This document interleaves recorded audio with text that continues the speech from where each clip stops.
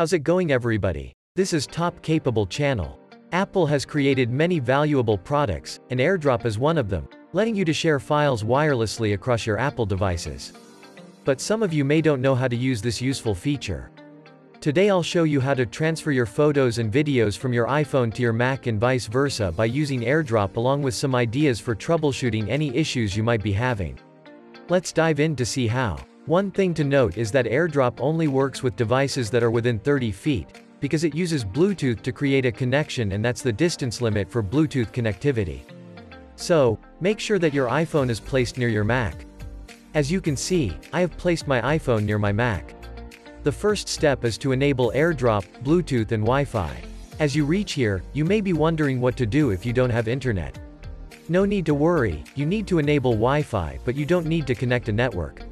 Since AirDrop uses point-to-point -point Wi-Fi to share files between Apple devices. So, let's go ahead and enable Wi-Fi, Bluetooth and AirDrop. I will show you how to do that in the control center. If you're having an iPhone 8 and earlier with a physical home button, what you need to do is slide up from the bottom. See, you have got the control center screen. Long press the network settings card.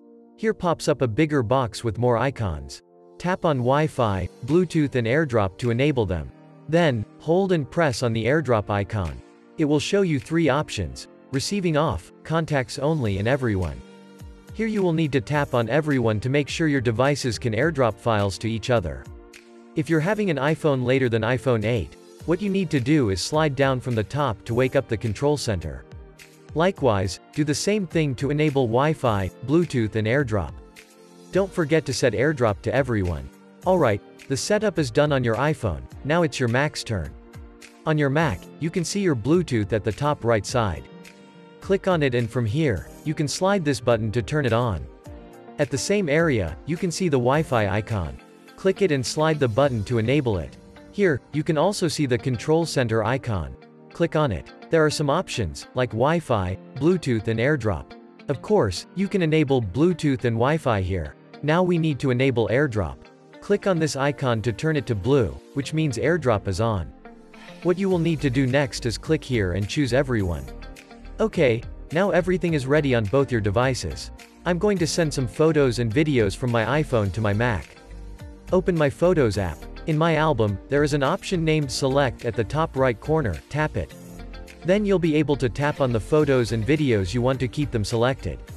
Alright, I have chosen all the photos and videos that I want. See, there is a share icon at the lower left corner of the screen, tap it. Here pops up a sub-window on your iPhone showing you some options. From here, tap on the AirDrop icon. Then your iPhone will show you the Apple devices nearby. All you need to do now is tap on your Mac's name to set it as the recipient. It time to move to your Mac to receive these items.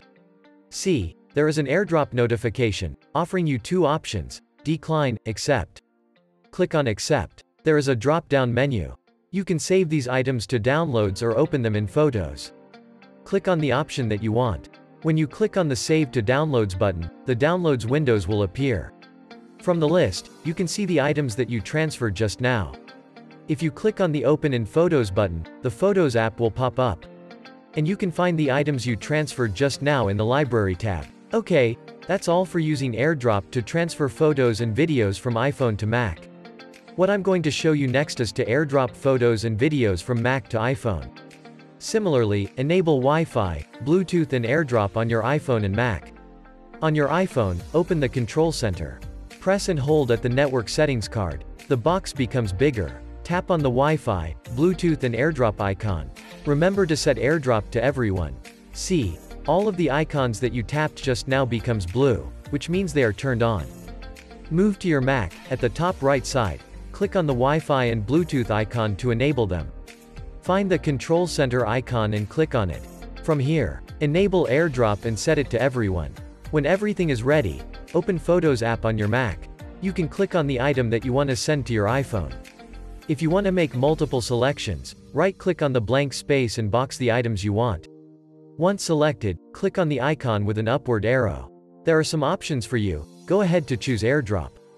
This will show you the AirDrop window. Click on your iPhone's name to set it as the recipient. Make sure your iPhone is on, otherwise you won't be able to see your iPhone in the AirDrop window. There will be a notification window on your iPhone asking you decline or accept. Tap on the accept button to confirm the transfer. Once tapped, the items you selected from your Mac will automatically appear in the Photos app on your iPhone. If your iPhone and your Mac are signed in with the same Apple ID, you won't see an option to accept or decline. It'll automatically get sent to your iPhone. The newly airdropped items will open in the Photos app on your iPhone. Okay, so those are all for how to airdrop photos and videos from iPhone to Mac and back. You can airdrop as many photos and videos as you like. However, for transferring a large number of photos and videos at once, your success will depend on how large your files are and how robust the processors on both devices are. The process can take more than 20 minutes and you cannot use either device during the file transfer. If you don't want to waste time, you can try iPhone Data Transfer from AppGeeker iPhone Data Transfer can help you transfer photos, videos, music and other media files from iOS to Mac, Windows to iOS, iOS to iOS and vice versa in seconds. I have put the download link in the description below. This is how to transfer photos and videos from iPhone to Mac and back via AirDrop. I hope AirDrop also works for you without any problems. But if you have any problems, please tell me in the comment area. If you find this video is helpful, please hit the like button. Thank you so much for watching. See you in the next video.